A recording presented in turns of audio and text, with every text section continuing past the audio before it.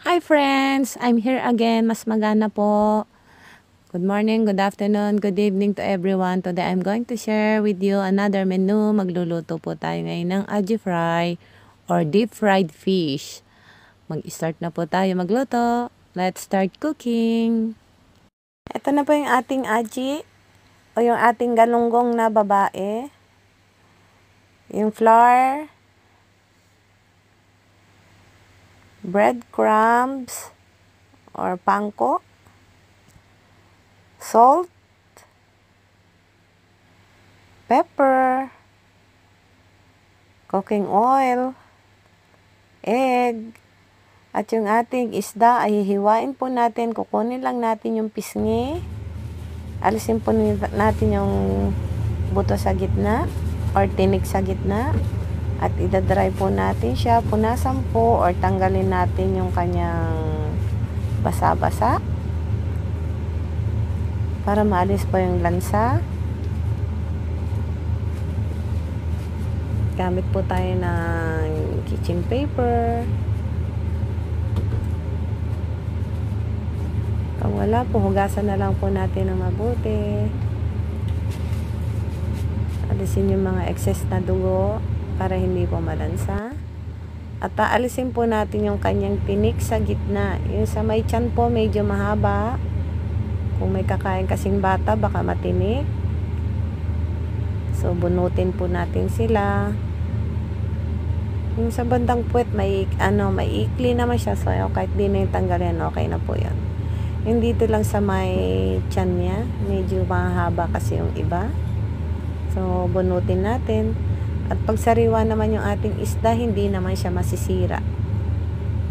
Hindi masisira yung kanyang laman. So, yung gitna na to, meron talagang tinik na naiiwan dyan. At gagamit po tayo ng 1 egg. Lagyan po natin siya ng konting water. Konting-konti lang po. Para hindi masyadong malapot. Dahil ididip natin dito yung ating fry. Yung ipo-fry pala. So, dito natin siya ididip. Lagyan po natin ng salt, yung ating isda. Budbudan po natin. So, binudbudan na po natin yan kasi kahit hindi na po siya lagyan ng sauce, pwede rin po ito pambaon. May, may lasa na po siya.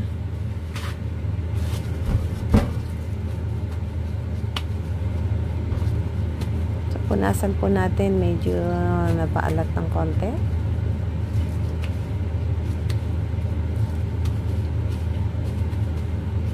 At lalagyan po natin to ng black pepper or kahit pe white pepper.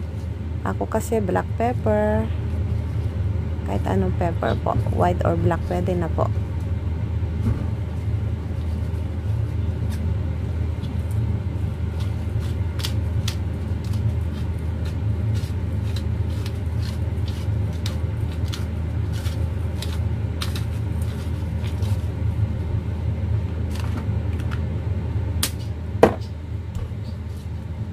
So, ayan.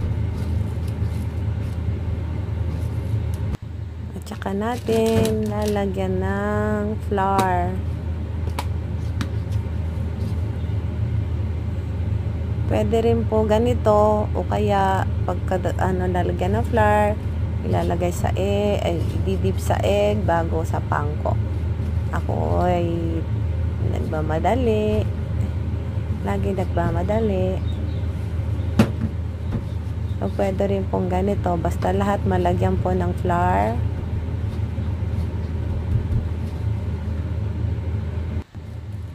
Yan. Ididip po natin sa ating itlog. Sabi natin itlog kanina.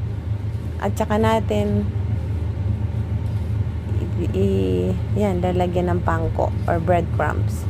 Ikot-ikot natin siya dyan para makuberan. At eto na po yung ating nagawa kanina. Yan na sila. Nakubera na po ng breadcrumbs. At ito, ipa-fry na natin. Magpapainit na po tayo ng ating paglulutuan. So, mainit na po siya. Lagay na po natin yung ating cooking oil. Ako po kasi olive oil. Ilalagay ko.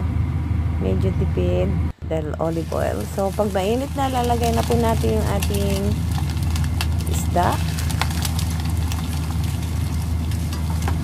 Yung ating agi. Or galunggong. Kahit ano isda, pwede naman po i-fry eh. Ito na po siya. Ang nakita na po natin na golden brown na, babalik rin na po natin siya. Medium heat lang po ang ating paglulutuan dahil madali pong maluto yung ating isda. At madali rin po siyang masunog. Manipis lang yung ating uh, pang ano, uh, breadcrumbs na nilagay dyan. So, pambahay talaga to. Yan na.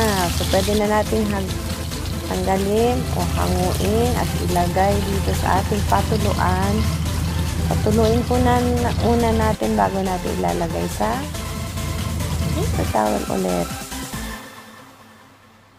Ayan. At titignan na po natin yung loob. Pakita ko po sa inyo yung loob. Luto na po siya. Ayan na po. So, ready to serve na yan. Kung meron po tayong sauce, tonkatsu sauce, pwede po. O kung anong sauce, lagyan lang po natin ng lemon. Kung may lemon po tayo, hindi, lang, hindi ko lang nalagyan ng lemon. Okay, thank you for watching. God bless po. Don't forget to subscribe, like, and share. Thank you, thank you.